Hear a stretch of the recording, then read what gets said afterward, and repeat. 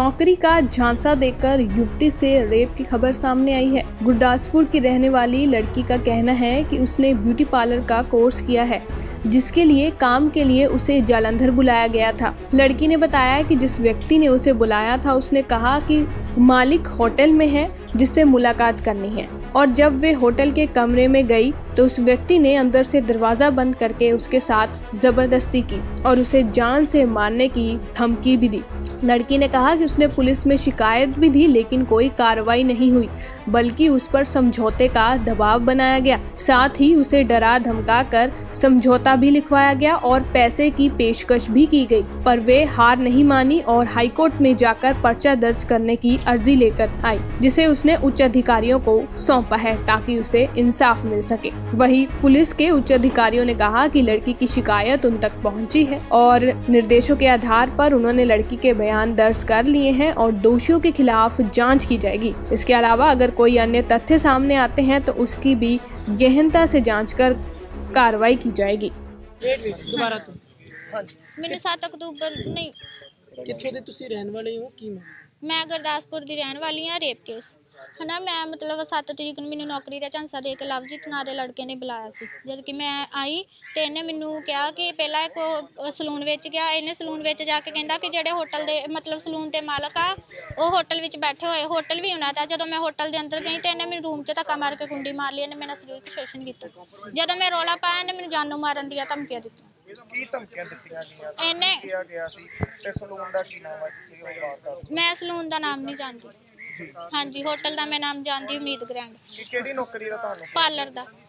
ਹਾਂਜੀ ਮੈਂ ਪਾਰਲਰ ਦਾ ਕੋਰਸ ਕੀਤਾ ਹੋਇਆ ਧਮਕੀਆਂ ਕੀ ਦਿੱਤੀਆਂ ਗਈਆਂ ਸੀ ਧਮਕੀਆਂ ਇਹਨੇ ਕਿਹਾ ਵੀ ਜੇ ਇਸ ਸੰਬੰਧੀ ਕੋਈ ਗੱਲਬਾਤ ਕਿਸੇ ਨੂੰ ਦੱਸੀ ਮੈਂ ਤੈਨੂੰ ਜਾਨੋਂ ਮਾਰ ਦੇਵਾਂਗਾ। ਅੱਛਾ ਤੁਸੀਂ ਪੁਲਿਸ ਕੋਲ ਗਏ ਸੀ ਇਸ ਮਾਮਲੇ ਤੋਂ ਹਾਂਜੀ ਮੈਂ ਪੁਲਿਸ ਪ੍ਰਸ਼ਾਸਨ ਕੋਲ ਗਈ ਸੀ। ਪੁਲਿਸ ਪ੍ਰਸ਼ਾਸਨ ਨੇ ਮੇਰੀ ਕੋਈ ਕਾਰਵਾਈ ਨਹੀਂ ਕੀਤੀ ਕਿਹੜੇ ਜਲੰਧਰ ਥਾਣੇ ਦੇ ਵਿੱਚ ਗਏ ਸੀ? ਮੈਂ ਐਸਐਸਪੀ ਸਾਹਿਬ ਕੋਲ ਗਈ ਸੀ ਬਟਾਲੇ। ਉਹਨਾਂ ਨੇ ਇੱਥੇ ਕਿਹਾ ਵੀ ਮਤਲਬ ਤੁਹਾਡਾ ਬਕੂਆ ਨਹੀਂ ਬੰਦਾ ਜਲੰਧਰ ਤੁਹਾਡਾ ਬਕੂਆ ਬੰਦਾ ਜਦੋਂ ਮੈਂ ਜਲੰਧਰ ਆਈ ਜਲੰਧਰ ਮੇਰੀ ਕੋਈ ਕਾਰਵਾਈ ਨਹੀਂ ਜਲੰਧਰ ਕਿਹੜੇ ਥਾਣੇ ਦੇ ਵਿੱਚ ਗਏ ਸੀ? ਡਿਵੀਜ਼ਨ ਨੰਬਰ 7 ਵਿੱਚ ਇੱਥੇ ਹੀ ਆਈ। ਕੀ ਕਿਹਾ ਜਾਂਦਾ ਪੁਲਿਸ ਨੂੰ ਜਿਸ ਤਰ੍ਹਾਂ ਤੁਸੀਂ ਦੱਸ ਸਕਦੇ ਹੋ ਕਿ ਕੋਈ ਕਾਰਵਾਈ ਪੁਲਿਸ ਕੀਤੀ ਜਾ ਰਹੀ ਪੁਲਿਸ ਨੇ ਮੇਰੀ ਗੱਲ ਸੁਣੋ ਮਤਲਬ ਇਹਨਾਂ ਨੇ ਸਾਰੀ ਦੇਖ ਕੇ ਵੀਡੀਓ ਕਢਾ ਕੇ ਹੋਟਲ ਵਿੱਚੋਂ ਤਾਂ ਵੀ ਕੋਈ ਕਾਰਵਾਈ ਨਹੀਂ ਕੀਤੀ। ਹਜੇ ਤੱਕ ਕਹੀ ਜਾਂਦੇ ਆ, ਅਸੀਂ ਇਨਕੁਆਰੀ ਕਰਕੇ ਫੇਰ ਪਰਚਾ ਕਰਾਂਗੇ। ਅੱਛਾ ਤੁਸੀਂ ਕਹਿ ਰਹੇ ਰਿਸ਼ਵਤ ਦਾ ਵੀ ਇਲਜ਼ਾਮ ਲਗਾ ਰਹੇ ਸੀ ਕਿ ਹਾਂਜੀ ਇਹਨਾਂ ਨੇ ਰਿਸ਼ਵਤ ਲਈ ਹਾਂਜੀ। ਮੈਨੂੰ ਵੀ ਇਹ ਗੱਲ ਕਹੀ ਗਈ ਸੀ ਵੀ 3 ਲੱਖ ਰੁਪਇਆ ਲੈ ਕੇ ਤੂੰ ਸੁਲਾ ਕਰ ਲੈ ਬਟ ਮੈਂ ਨਹੀਂ ਕਿਹਾ ਵੀ ਮੈਂ ਸੁਲਾ ਨਹੀਂ ਕਰਨਾ ਚਾਹੁੰਦੀ 3 ਲੱਖ ਰੁਪਇਆ ਹਾਂਜੀ ਹਾਂਜੀ। ਉਹਨਾਂ ਨੇ ਰਜੇਸ਼ ਕੁਮਾਰ ਐਸਐਚਓ ਸਾਹਿਬ ਨੇ ਮੈਨੂੰ ਕਿਹਾ ਸੀ ਵੀ ਜੇ ਮਤਲਬ ਇਹ 182 ਐਕਟ ਲਾ ਕੇ ਇਹਨੂੰ ਅੰਦਰ ਕਰੋ। ਇਹਨਾਂ ਨੇ ਮੈਨੂੰ ਡਰਾ ਧਮਕਾ ਕੇ ਸੁਲਾ ਲਿਖਵਾ ਲਈ ਸੀ। ਹਾਂਜੀ। ਕੋਈ ਕਾਰਵਾਈ ਨਹੀਂ ਕੀਤੀ ਜਾਂਦੀ ਹਾਂਜੀ। ਹਾਂਜੀ ਮੈਂ ਡਿਸੀਜਨ ਲਿਆ। ਜੇਕਰ ਕੋਈ ਕਾਰਵਾਈ ਨਹੀਂ ਕੀਤੀ ਗਈ ਮੈਂ ਆਪਣੀ ਆਤਮ ਹੱਤਿਆ ਕਰ ਲੈਣੀ। ਇਹਦਾ ਪੁਲਿਸ ਪ੍ਰਸ਼ਾਸਨ ਜ਼ਿੰਮੇਵਾਰ ਹੋਊਗਾ ਪੰਜਾਬ ਸਰਕਾਰ ਤੇ ਲਵਜੀਤ ਨਾਂ ਦਾ ਲੜਕਾ। ਇਹ ਮਾਮਲਾ ਜਿਹੜਾ ਹੈਗਾ ਜੀ ਜੋ ਇੱਕ ਬੱਚੀ ਹੈ 18 19 ਸਾਲ ਦੀ ਬੱਚੀ ਹੈ ਉਹਦੇ ਨਾਲ ਪੰਜਾਬ ਪੁਲਿਸ ਨੇ ਧੱਕੇਸ਼ਾਹੀ ਕਰਕੇ ਇੱਕ ਰੇਪ ਦੇ ਮਾਮਲੇ ਨੂੰ ਦਬਾਉਣ ਦਾ ਇਹ ਜਿਹੜਾ ਮਾਮਲਾ ਹੈ। ਔਰ ਹਾਈ ਕੋਰਟ ਦੀ ਜਿਹੜੀ ਡਾਇਰੈਕਸ਼ਨ ਹੈ, ਜੋ ਮੇਰੇ ਹੱਥ ਵਿੱਚ ਤੁਸੀਂ ਦੇਖ ਰਹੇ ਹੋ, ਹਾਈ ਕੋਰਟ ਨੇ ਕਿਹਾ ਆ ਵੀ 14 ਤਰੀਕ ਨੂੰ ਕਿਹਾ ਵੀ ਇਹਨਾਂ ਤੇ ਦੋਸ਼ੀਆਂ ਤੇ ਪਰਚਾ ਦਰਜ ਕੀਤਾ ਜਾਵੇ। ਪਰ ਹਾਈ ਕੋਰਟ ਦੀ ਜਿਹੜੀ ਹੈ ਗਾਈਡਲਾਈਨਾਂ ਨੂੰ ਨਾ ਮੰਨਦੇ ਹੋਏ ਪੁਲਿਸ ਜਿਹੜਾ ਮਾਮਲੇ ਨੂੰ ਦਬਾਉਣ ਦੀ ਕੋਸ਼ਿਸ਼ ਕਰ ਰਹੀ ਹੈ। ਸੋ ਉਹਦੇ ਵਿਰੋਧ ਵਿੱਚ ਅਸੀਂ ਅੱਜ ਅੰਦੋਲਨ ਕਰਨ ਦਾ ਜਿਹੜਾ ਐਲਾਨ ਕੀਤਾ ਹੈ। ਇਹ ਤਕਰੀਬਨ 2-3 ਮਹੀਨੇ ਪਹਿਲਾਂ ਦੀ ਗੱਲ ਹੈ। ਔਰ ਬੱਚੀ ਜਿਹੜੀ ਹੈ ਦਰਬ-ਦਰ ਭਟਕ ਰਹੀ ਸੀ ਇਨਸਾਫ ਲਈ ਪਰ ਉਹਨੂੰ ਇਨਸਾਫ ਨਹੀਂ ਮਿਲਿਆ। ਪਰ ਜਦੋਂ ਹਾਈ ਕੋਰਟ ਦਾ ਕੁੰਡਾ ਖੜਕਾਇਆ ਤਾਂ ਹਾਈ ਕੋਰਟ ਨੇ ਡਾਇਰੈਕਸ਼ਨ ਕੀਤਾ ਔਰ ਡਾਇਰੈਕਸ਼ਨ ਤੋਂ ਬਾਅਦ ਵੀ ਜਿਹੜਾ ਪਰਚਾ ਦਰਜ ਨਹੀਂ ਹੋ ਰਿਹਾ। ਕਿੰਨੇ ਸਾਲ ਦੀ ਸੀ ਕੁੜੀ? ਇਹ ਕੁੜੀ ਜਿਹੜੀ 18 ਸਾਲ ਦੇ ਕਰੀਬ ਹੈਗੀ ਆ। ਕਾਰਨ ਲੱਗਦਾ ਕਿ ਜਿਹੜਾ ਪੁਲਿਸ ਇਸ ਮਾਮਲੇ ਨੂੰ ਦਬਾਉਣ ਦੀ ਕੋਸ਼ਿਸ਼ ਕਰਦੀ ਪਈ ਹੈ? ਇਹ ਹਰ ਮਾਮਲੇ 'ਚ ਇਦਾਂ ਹੁੰਦਾ ਜੀ। ਪੁਲਿਸ ਹਰ ਮਾਮਲੇ ਨੂੰ ਦਬਾਉਂਦੀ ਹੁੰਦੀ ਆ। ਇਹ ਇਹ ਇਹ ਕਾਨੂੰਨ ਦਾ ਪ੍ਰਕਿਰਤੀ ਦਾ ਹੀ ਮੇਰੇ ਹਿਸਾਬ ਨਾਲ ਨਿਯਮ ਹੀ ਬਣ ਗਿਆ ਪੰਜਾਬ 'ਚ ਵੀ ਤਕੜੇ ਦੀ ਮਦਦ ਕਰਨੀ ਹੈ ਗਰੀਬ ਨੂੰ ਦਬਾਉਣਾ ਹੈ ਗਰੀਬ ਨੂੰ ਇਨਸਾਫ ਹੀ ਨਹੀਂ ਦੇਣਾ। ਕੀ ਲੱਗਦਾ ਹੈ ਕਿ ਕਿਸੇ ਸਿਆਸੀ ਲੀਡਰ ਜਾਂ ਕਿਸੇ ਸਿਆਸੀ ਧਿਰ ਦੇ ਉੱਪਰ? ਹੋ ਸਕਦਾ ਹੋ ਸਕਦਾ ਵੀ ਸਿਆਸੀ ਧਿਰ ਦਾ ਕਿਸੇ ਦਾ ਦਬਾਅ ਹੋਵੇ ਜਾਂ ਕਿਸੇ ਦਾ ਹੋਵੇ ਹੋ ਸਕਦਾ। ਪੰਜਾਬ ਦੇ ਵਿਗੜਦੇ ਹਾਲ- ਵਿਗੜ ਰਹੇ ਹਾਲਾਤਾਂ ਨੂੰ ਕਿਵੇਂ ਵੇਖਦੇ ਹੋ ਦਿਨ ਪ੍ਰਤੀ ਦਿਨ ਰੇਪ ਦੀਆਂ ਘਟਨਾਵਾਂ ਵੱਧ ਰਹੀਆਂ ਨੇ ਅਪਰਾਧ ਦੀਆਂ ਘਟਨਾਵਾਂ ਵੱਧ ਰਹੀਆਂ ਨੇ। ਇਹ ਤਾਂ ਜੀ ਪੰਜਾਬ ਜਿਹੜਾ ਕਹਿੰਦੇ ਪੰਜਾਬ ਉਜਾੜਨ ਵਾਲੇ ਖੁਦ ਹੀ ਉਜੜ ਗਏ ਪੰਜਾਬ ਗੁਰਾਂ ਦੀ ਕਿਰਪਾ ਨਾਲ ਬਸਦਾ ਆ।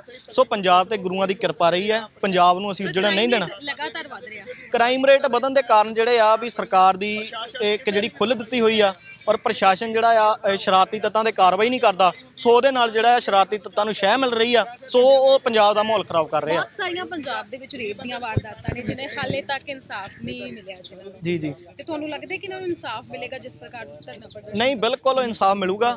ਅਗਰ ਇਨਸਾਫ ਨਹੀਂ ਮਿਲੂਗਾ ਤਾਂ ਅਸੀਂ ਜਿਹੜਾ ਬੱਚੀ ਦੇ ਨਾਲ ਕਿਤੇ ਵੀ ਜਿਹੜਾ ਆਪਣੇ ਅਸੀਂ ਅੰਦੋਲਨ ਕਰਨ ਦੀ ਜਿਹੜੀ ਆ ਕਰਾਂਗੇ। ਦੇਖੋ ਅਸੀਂ ਆ ਤਮਾਮ ਜਥੇਬੰਦੀਆਂ ਅੱਜ ਡਿਵੀਜ਼ਨ ਨੰਬਰ 7 ਦੇ ਵਿੱਚ ਆਏ ਆ। ਇੱਕ ਬੱਚੀ ਜਿਹੜੀ ਹੈਗੀ ਆ, ਜਿਹਦੇ ਨਾਲ ਪ- ਜਲੰਧਰ ਜਿਹੜਾ ਹੈਗਾ ਜਬਰ ਜਨਾਹ ਹੁੰਦਾ ਆ ਔਰ ਪੁਲਿਸ ਪ੍ਰਸ਼ਾਸਨ ਨੂੰ ਉਹ ਸ਼ਿਕਾਇਤ ਦਰਜ ਕਰਵਾਉਂਦੀ ਆ ਤੇ ਉਹਨੂੰ ਕੋਈ ਨਿਆਂ ਨਹੀਂ ਮਿਲਦਾ, ਉਹ ਵੱਡੇ ਅਫਸਰਾਂ ਕੋਲ ਪੇਸ਼ ਹੁੰਦੀ ਆ, ਉਹਨੂੰ ਕੋਈ ਨਿਆਂ ਨਹੀਂ ਮਿਲਦਾ। ਉਹ ਨਿਆਂ ਲੈਣ ਵਾਸਤੇ ਹਾਈ ਕੋਰਟ ਦੇ ਦਰਵਾਜ਼ਾ ਖੜਕਾਉਂਦੀ ਆ, ਜਿੱਥੇ ਕਿ ਡਾਇਰੈਕਟ ਜਿਹੜੇ ਨਿਰਦੇਸ਼ ਜਿਹੜੇ ਆ, ਉਹ ਪੰਜਾਬ ਪੁਲਿਸ ਨੂੰ ਦਿੱਤੇ ਜਾਂਦੇ ਆ ਕਿ ਪਹਿਲ ਦੇ ਆਧਾਰ ਦੇ ਉੱਤੇ ਉਸ ਲੜਕੇ ਦੇ ਉੱਤੇ ਪਰਚਾ ਦਰਜ ਕੀਤਾ ਜਾਵੇ। ਲੇਕਿਨ ਇਹ ਪੰਜਾਬ ਪੁਲਿਸ ਜਿਹੜੀ ਹੈਗੀ ਆ, ਪਰਚਾ ਦਰਜ ਕਰਨ ਦੀ ਬਜਾਏ ਇੱਕ ਕਮਿਸ਼ਨ ਏਜੰਟ ਜਿਹੜੇ ਹੁੰਦੇ ਆ ਨਾ, ਜਿਹੜੇ ਕਮਿਸ਼ਨਾਂ ਖਾਂਦੇ ਆ ਉਦਾਂ ਬੈਠ ਕੇ ਉਹਨਾਂ ਨੂੰ ਬੰਦ ਕਮਰੇ ਦੇ ਵਿੱਚ ਸਮਝੌਤਾ ਕਰਵਾਉਣ ਦੀ ਕੋਸ਼ਿਸ਼ ਕਰਦੀ ਆ ਕਿ ਭਾਈ ਤੂੰ ਭੁੱਲ ਜਾ, ਜੋ ਤੇਰੇ ਨਾਲ ਮਾੜਾ ਚੰਗਾ ਹੋਇਆ ਉਹਨੂੰ ਭੁੱਲ ਜਾ। ਇਹ 2-3 ਲੱਖ ਰੁਪਏ ਦੀ ਰਕਮ ਜਿਹੜੀ ਹੈ ਕੋਈ ਛੋਟੀ ਰਕਮ ਨਹੀਂ ਹੁੰਦੀ ਹੈਗੀ, ਇਹਨੂੰ ਲੈ। ਅਦਰਵਾਈਜ਼ ਜੇ ਤੂੰ ਪੈਸਾ ਨਹੀਂ ਲਏਂਗੀ ਔਰ ਕਾਰਵਾਈ ਦੇ ਉੱਤੇ ਅੜੀ ਰਹੇਗੀ ਤਾਂ ਤੇਰੇ ਉੱਤੇ ਵੀ ਜਿਹੜਾ 182 ਦੀ ਧਾਰਾ ਲੱਗੇਗੀ ਕਿ ਤੂੰ ਪੁਲਿਸ ਨੂੰ ਗੁੰਮਰਾਹ ਕਰਦੀ ਪਈ ਹੈ ਲੇਕਿਨ ਉਹ ਕੁੜੀ ਦੀ ਹਿੰਮਤ ਹੈਗੀ ਆ ਜਿਹੜੀ ਅੱਜ ਸਾਰੇ ਬੰਧਨ ਤੋੜ ਕੇ ਅੱਜ ਇਸ ਪੁਲਿਸ ਚੌਂਕੀ ਦੇ ਵਿੱਚ ਸ਼ਰੇਆਮ ਕਹਿੰਦੀ ਵੀ ਜਿਹੜਾ ਪਰਚਾ 182 ਦਾ ਮੇਰੇ ਤੇ ਬੰਦਾ ਤੇ ਮੇਰੇ ਤੇ ਦਰਜ ਕਰ ਦੋ। ਨਹੀਂ ਤਾਂ ਜਿਹੜਾ ਲੜਕੇ ਦੇ ਉੱਤੇ ਜਿਹੜੀਆਂ ਧਾਰਾ ਲੱਗਦੀਆਂ ਜਾਂ ਜਿਹੜੇ ਜਿਹੜੇ ਪ੍ਰਧਾਨਾਂ ਨੇ ਉਹ ਗੁੰਮਰਾਹ ਕੀਤਾ ਜਾਂ ਜੋ ਕੋਈ ਪੈਸਾ ਖਾਦਾ ਹੈਗਾ ਉਹਨਾਂ ਨੇ ਕੀਤਾ ਹੈਗਾ ਉਹ ਜਿਹੜਾ ਹੈਗਾ ਉਹਦੇ ਤੇ ਬੰਦੀ ਕਾਰਵਾਈ ਕਰ ਜਿਸ ਤਰ੍ਹਾਂ ਤੁਸੀਂ ਦੱਸਦੇ ਹੋ ਕਿ ਹਾਈ ਕੋਰਟ ਨੇ ਵੀ ਕਹਿਤਾ ਮੁੰਡੇ ਤੇ ਪਰਚਾ ਦਰਜ ਕੀਤਾ ਕੀ ਕਾਰਨ ਲੱਗਦਾ? ਪੁਲਿਸ ਕਿਉਂ ਨਹੀਂ ਪਰਚਾ ਦਰਜ ਕਰਦੀ ਨਜ਼ਰ ਆ ਦਬਾਅ ਜਿਹੜਾ ਹੈਗਾ ਜੀ, ਉਹ ਪੁਲਿਸ ਦੇ ਉੱਤੇ ਸਾਹਮਣੇ ਸਾਫ਼ ਨਜ਼ਰ ਆਉਂਦਾ ਪਿਆ। ਮੇਰੇ ਸਾਹਮਣੇ ਹੀ ਜਿਹੜੇ ਹੈਗੇ ਆ ਪੁਲਿਸ ਐਸਐਚਓ ਸਾਹਿਬ ਖੜੇ ਆ। ਤੁਸੀਂ ਉਹਨਾਂ ਕੋ ਵੀ ਇਹ ਸਵਾਲ ਜ਼ਰੂਰ ਪੁੱਛਿਓ ਵੀ ਭਾਈ, ਵੀ ਇਹੋ ਜੀਆਂ ਘਟਨਾਵਾਂ ਦੇ ਉੱਤੇ ਤੁਸੀਂ ਕਿੰਨੇ ਕੁ ਸਾਲ ਜਾਂ ਕਿੰਨੇ ਕੁ ਮਹੀਨੇ ਲਗਾਉਂਦੇ ਆ ਪਰਚਾ ਦਰਜ ਕਰਨ ਨੂੰ? ਕਿ ਪਹਿਲ ਦੇ ਆਧਾਰ ਦੇ ਉੱਤੇ ਹਾਈ ਕੋਰਟ ਦੀਆਂ ਇਨਸਟਰਕਸ਼ਨਾਂ ਨਹੀਂ ਹੈਗੀਆਂ? ਜਦੋਂ ਦਾ ਐਡੇ ਐਡੇ ਵੱਡੇ ਕਾਂਡ ਦਿੱਲੀ ਦੇ ਵਿੱਚ ਨਿਰਭਿਆ ਕਾਂਡ ਹੋਇਆ ਜਾਂ ਹੋਰ ਵੀ ਹੋਇਆ, ਬੱਚਿਆਂ ਦੀ ਮਦਦ ਕਰਨ ਵਾਸਤੇ, ਬੱਚਿਆਂ ਨੂੰ ਕਰੰਟ ਸਹਾਇਤਾ ਦੇਣ ਵਾਸਤੇ ਇਹੋ ਜੀਆਂ ਕਾਰਵਾਈਆਂ ਜਿਹੜੀਆਂ ਪੁਲਿਸ ਨੂੰ ਨਿਰਦੇਸ਼ ਦਿੱਤੇ ਗਏ ਕਿ ਪਹਿਲ ਦੇ ਆਧਾਰ ਤੇ ਪਰਚਾ ਦਰਜ ਕਰੋ। ਲੇਕਿਨ ਜੇ ਅੱਜ ਤੱਕ ਪਰਚਾ ਦਰਜ ਨਹੀਂ ਹੋ ਰਿਹਾ, ਤਾਂ ਕਿਹੜੀਆਂ ਕਾ- ਕਾਰਨ ਹੈਗੇ ਆ ਵੀ ਜਿਹਦੇ ਕਰਕੇ ਪੁਲਿਸ ਇੰਨੀ ਦਬਾਅ ਥੱਲੇ ਹੈਗੀ ਕਿ ਪਰਚਾ ਦਰਜ ਨਹੀਂ ਕਰ ਰਹੀ। ਕਿੱਥੇ ਦੀ ਰਹਿਣ ਵਾਲੀ ਕਿੰਨੀ ਉਮਰ ਆ ਕੁੜੀ ਦੀ? ਦੇਖੋ ਕੁੜੀ ਜਿਹੜੀ ਆ ਬਟਾਲੇ ਦੀ ਰਹਿਣ ਵਾਲੀ ਹੈਗੀ ਆ ਔਰ ਉਮਰ ਜਿਹੜੀ ਹੈਗੀ ਆ ਉਹ 19 19 ਤੋਂ 20 ਸਾਲ ਦੀ ਜਿਹੜੀ ਉਹਦੀ ਉਮਰ ਲੱਗਦੀ ਆ। ਸਰੀਰਕ ਤੌਰ ਦੇ ਉੱਤੇ ਬਹੁਤ ਛੋਟੀ ਜੀ ਕਮਜ਼ੋਰ ਜੀ ਲੱਗਦੀ ਆ ਪਰ ਲੇਕਿਨ 19 20 ਸਾਲ ਦੀ ਹੈਗੀ ਆ ਉਹ। ਐਸਐਚਓ ਸਾਹਿਬ ਦਾ ਕਹਿਣਾ ਕਿ ਹੋਟਲ ਦੇ ਵਿੱਚ ਦੋਨਾਂ ਦੀਆਂ ਆਇਡੈਂਟੀਟੀਆਂ ਲੱਗੀਆਂ ਹੋਈਆਂ ਨੇ ਕੁੜੀ ਦੀ ਤੇ ਮੁੰਡੇ ਦੀ। ਦੇਖੋ, ਜੇ ਅਡ- ਜਿਹੜੀ ਆਇਡੈਂਟੀਜ਼ ਦੀਆਂ ਤੁਸੀਂ ਗੱਲ ਕਰਦੇ ਪਏ ਆ ਆਇਡੈਂਟੀਆਂ ਲੱਗੀਆਂ ਹੋਣਗੀਆਂ ਕਿ ਜਦੋਂ ਉਹਨੂੰ ਲੈ ਕੇ ਗਏ ਹੈਗੇ ਆ, ਉਹ ਕੀ ਪਤਾ ਉਹਨੂੰ ਕੀ ਕਹਿ ਕੇ ਉਹਦੇ ਕੋਲ ਪੇਪਰ, ਉਹਦੇ ਕੋਲ ਸਬਮਿਟ ਕਰਵਾਏ ਆ। ਉਹਨੂੰ ਇਹ ਕਿਹਾ ਗਿਆ ਕਿ ਤੂੰ ਪੇਪਰ ਇੱਥੇ ਸਬਮਿਟ ਕਰ ਜਾਂ ਆਪਣੇ ਪ੍ਰੂਫ ਸਬਮਿਟ ਕਰ, ਤਾਂ ਅੰਦਰ ਜਾ ਸਕਦੀ ਆ।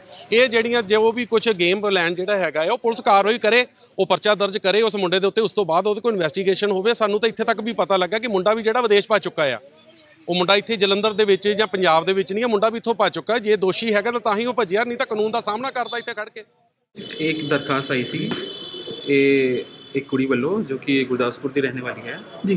ਕਿ 7 ਅਕਤੂਬਰ ਇੱਥੇ ਹੋਟਲ ਗ੍ਰੈਂਡ ਵਿੱਚ ਗਲਤ ਕੰਮ ਹੋਇਆ।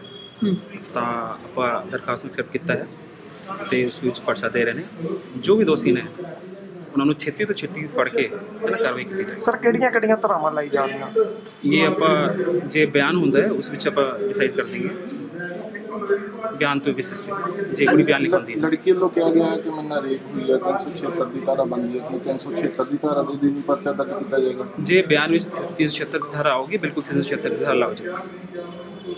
ਅੱਛਾ ਇੱਕ ਉਹਦੇ ਵਿੱਚ ਜਿਹੜਾ ਪਹਿਲੇ ਰਾਜੀਨਾਮਾ ਹੋਇਆ ਸੀਗਾ ਕਿ ਉਹ ਜਿਨ੍ਹਾਂ ਨੇ ਰਾਜੀਨਾਮਾ ਕਰਵਾਇਆ ਸੀਗਾ ਉਹਨਾਂ ਦੇ ਖਿਲਾਫ ਵੀ ਕਾਰਵਾਈ ਕੀਤੀ ਜਾਏਗੀ? ਕਿਉਂਕਿ ਕਿ ਦੱਸਿਆ ਜਾ ਰਿਹਾ ਸੀ ਲੜਕੀ ਵੱਲੋਂ ਕੋ ਪ੍ਰੈਸ਼ਰਾਈਜ਼ ਕੀਤਾ ਗਿਆ ਸੀਗਾ। ਇਹ ਆਪਾਂ ਡੂੰਘਾਈ ਨਾਲ ਇਨਵੈਸਟੀਗੇਟ ਕਰਾਂਗੇ। ਔਰ ਇਹ ਦੇਖਣਗੇ। ਜੇਕਰ ਇਹਦੀ ਕੋਈ ਗੱਲਬਾਤ ਆਂਦੀ ਹੈ ਪੂਰੀ ਕਾਰਵਾਈ ਕੀਤੀ ਜਾਊਗੀ। ਅੱਛਾ ਐਸਐਚਓ ਦੇ ਉੱਤੇ ਵੀ ਇਲਜ਼ਾਮ ਲਗਾਏ ਜਾ ਰਹੇ ਨੇ ਕਿ ਉਹਨਾਂ ਨੇ ਰਿਸ਼ਵਤ ਲਈ ਸੀਗੀ ਤੇ ਫਿਰ ਗੱਲਬਾਤ ਕਿ ਐਸਐਚਓ ਦਬਾਅ ਪਾ ਰਹੇ ਸੀਗੇ ਰਾਜੀਨਾਮਾ ਇਹ ਕਰਾਉਣ ਇਹ ਲਈ ਅੰਡਰ ਵੈਰੀਫਿਕੇਸ਼ਨ ਹੈਗਾ ਇਹ ਵੈਰੀਫਾਈ ਕਰਾਂਗੇ। ਜੇਕਰ ਇਹਦੀ ਗੱਲ ਆਂਦੀ ਹੈ ਤਾਂ ਕਾਰਵਾਈ ਹੋਗੀ ਜੀ ਅੱਛਾ ਮੁੰਡਾ ਇਸ ਵਕਤ ਕਹਿੰਦੇ ਨੇ ਕਿ ਬਾਹਰ ਭੱਜ ਗਿਆ ਹੈ। ਉਹ ਕਿੱਥੋਂ ਵੀ ਭਜੇ ਜੀ? ਜੇ ਕਾਨੂੰਨ ਦੇ ਹੱਥ ਹੁੰਦੇ ਉਹ ਬਹੁਤ ਲੰਬੇ ਹੁੰਦੇ। ਕਿੱਥੋਂ ਵੀ ਭਜੇ ਉਹ ਆਪਾਂ ਉਹਨਾਂ ਨੂੰ ਫੜ ਕੇ ਛੇਤੀ ਛੇਤੀ ਅਰੈਸਟ ਕਰਾਂਗੇ। ਅੱਛਾ ਕਿਹਨਾਂ ਕਿਹਨਾਂ ਦੇ ਉੱਤੇ ਤੁਸੀਂ ਜਿਹੜੀ ਹੈ ਉਹ ਕਾਰਵਾਈ ਕਰੋਗੇ? ਕੋਈ ਵੈਰੀਫਾਈ ਕੀਤਾ ਜਾਏਗਾ ਜਿਹੜੇ ਮਤਲਬ ਪ੍ਰਧਾਨ ਆਏ ਸੀ ਉਸ ਟਾਈਮ ਉਹਨਾਂ ਨੂੰ ਬਿਲਕੁਲ ਬਿਲਕੁਲ ਜੀ ਜੇ ਹੋਟਲ ਹੈਗੇ ਉੱਥੇ ਕਾਰਵਾਈ ਹੋਗੀ ਹੋਟਲ ਦੀ ਵੈਰੀਫਿਕੇਸ਼ਨ ਹੋਗੀ ਪੂਰਾ ਜੋ ਕਾਨੂੰਨੀ ਪ੍ਰਕਿਰਿਆ ਹੁੰਦੀ ਹੈ ਡੂੰਘਾਈ ਨਾਲ ਇਨਵੈਸਟੀਗੇਸ਼ਨ ਹੋਗੀ thank you thank you so much